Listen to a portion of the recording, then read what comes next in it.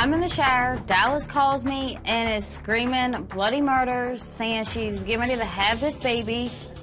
Now I have to get out of the shower, leave this towel on my head, and rush her to the hospital. You better be glad I only live two minutes from you. I know. I'm dying here. Oh, and Lucy's in here. You ready? Yeah. I am very annoyed that it's me taking Dallas to the hospital and not Nettie. Have you talked to Nettie? Yeah, I did. I bet you your mother is probably glad that I got a car so I can come right to you. Yeah. You're calm for getting ready to go into labor. I know what it's gonna be like. So what are you gonna name the baby?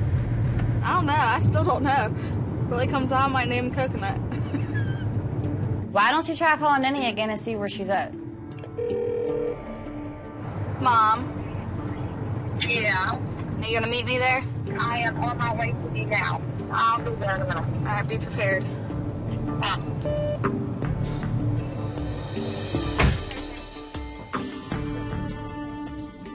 We get up to the hospital and Dallas walks in like nothing is wrong, but it is good that I brought her to prepare myself to see how it's going to be rushed and what I'm going to have to do.